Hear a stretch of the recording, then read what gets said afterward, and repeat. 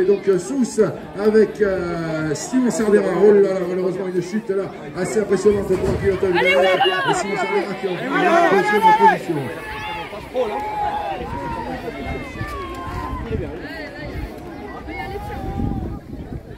Et là, je ne vous dis pas le bruit que ça fait ça passe.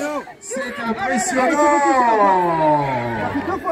Allez, donc euh, nous avons euh, un quart de finale avec le Damien Lucas, Florent Bigot, Thomas euh, Louis Mathieu, Kylian Villeray, Alexis Amar et Willow Camps.